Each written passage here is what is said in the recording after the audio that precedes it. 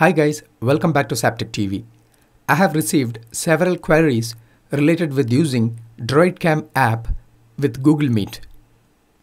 And that is a motivation behind creating this video. Please watch my video on using DroidCam with Zoom and Skype apps if you haven't watched it. I have provided links at the upper right corner as well as at the description section of this video. In that video, the features of DroidCam app is completely dealt with in detail. So let's get started.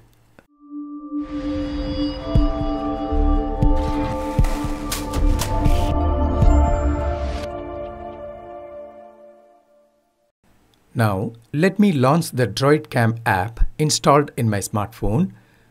Now it's showing the IP address of the phone and this IP address should be given at the DroidCam client installed on my computer. While using DroidCam, I have a product recommendation for you.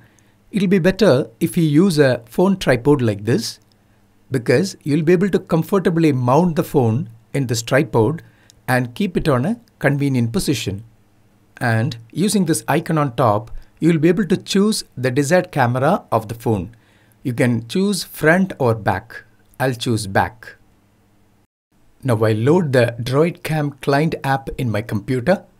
Then I'll give the same IP address as that of the phone there. Now you can see that app is connected with the phone camera. Now I'll click on the rotate icon to correct the orientation. Now let's see how to use DroidCam with Google Meet. I have opened Google Chrome browser. Now I'll click on the Google Apps icon at the upper right corner. Then here I have Meet option available. Just click on that. Now here you have given options to start a new meeting or you can enter an existing meeting by entering a code. So I'll click on new meeting. Here I have options to create a meeting or later or I can start an instant meeting. I'll click on start an instant meeting. Now you can see the camera is starting and this camera is the camera of my laptop. Now you can see the lighting and you can see the resolution.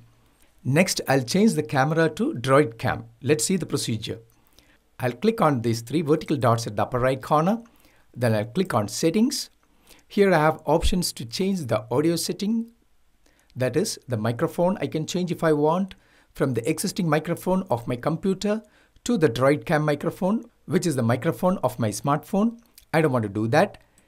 I'll click on video and here I can change my camera from Lenovo Easy Camera, which is the camera of my laptop, to the DroidCam source 2 or 3. I've got two sources of DroidCam available here because I haven't connected DroidCam with any other apps.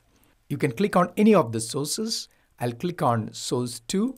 Now you can see that I'm connected to the DroidCam and I'll close this. Now here you can see the change in resolution.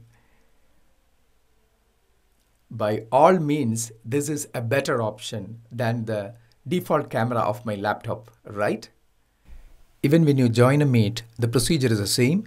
You can just click on the three dots at the lower right corner and you can click on settings.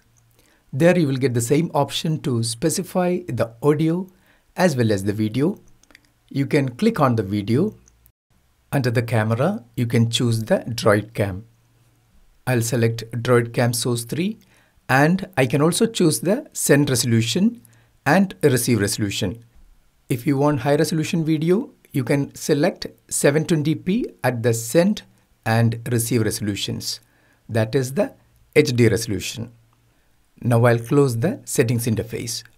So this is how you use DroidCam in Google Meet. Hope the procedure is clear. So that's all for now. Until I catch you with another informative video, bye bye and take care. Thank you so much.